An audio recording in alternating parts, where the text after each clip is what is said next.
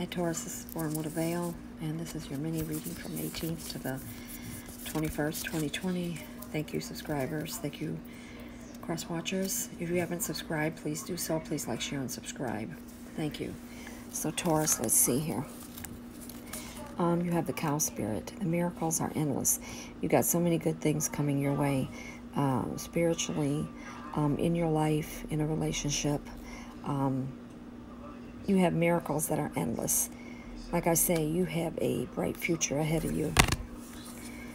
The horse spirit, freedom is yours. Some of you will be letting go of a relationship.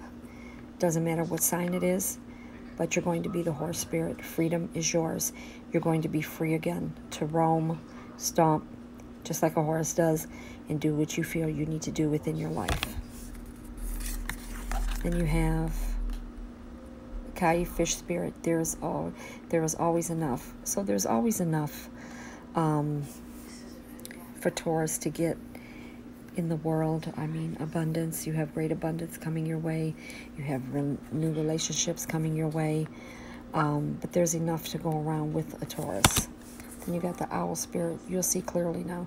So the reason why you're leaving a relationship, either three-way or that one person, is because you see clearly now of what you weren't focused on at the time. So there's been red flags all around you.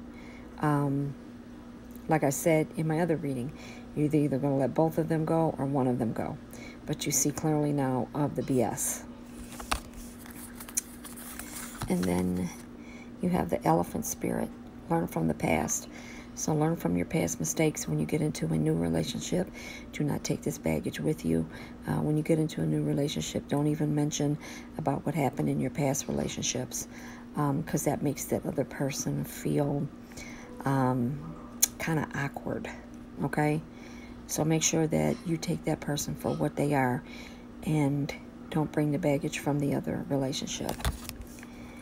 Canary Spirit, sing your own song. So now is the time for you to sing your own song, to live your life the way that you see fit and not the way people tell you that you should live it because a lot of people love to tell Taurus what to do and you have to follow your own heart and soul. And then you have the Dragon Spirit. Truth transcends illusion. So the truth is there.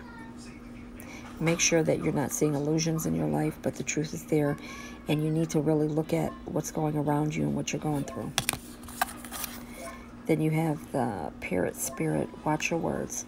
Watch your words because Taurus can be very hurtful in what they say. Um, so just watch what comes out of your mouth. And then the deer spirit, being a gentle, bring a gentle touch. So whether you're exiting a relationship, just be gentle, say how you feel, or basically some of you don't have to say anything at all. You can block this person. Don't answer any of their texts. Um, phone calls and just let it go. Some of you will ghost a person just because you don't want to argue and fight anymore. So just bring a gentle touch if that's what you have to do is ghost them.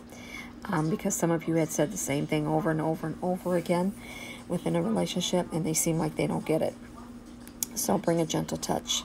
Some of you may just be kind about it and say, look, this isn't working for me anymore and I'm done. Okay, Taurus? So that's your mini reading for August 2020. Please like, share, and subscribe. Thank you, subscribers.